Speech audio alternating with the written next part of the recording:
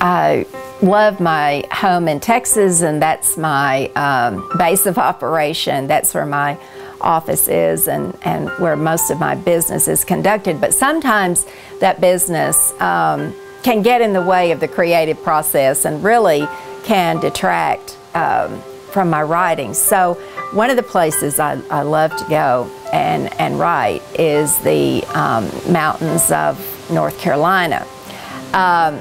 We visit a small little burg called Highlands and um, the town itself only has about 1,800 people, I think. Main Street is three blocks long, uh, and there literally is a traffic light at each end, and that's it. Um, but um, th the mountains that surround it are just absolutely gorgeous. I think natural beauty just inspires the uh, artistic mind.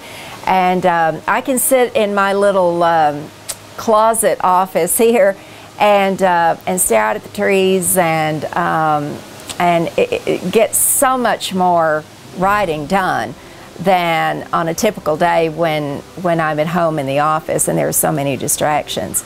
Um, sometimes, if I get stuck, um, I'll just go on a, a hike uh, through the woods. Uh, there are several uh, trails up mountains uh, that are easily walked, um, even for non-climbers like me.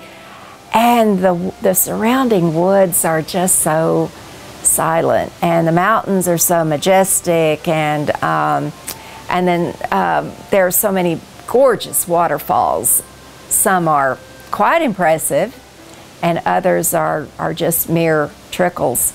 But um, I love it every season up here. I, I love um, the summer when everything is so green, um, flowers are in bloom, and um, I love it in the fall when the colors, the foliage is just unimaginable.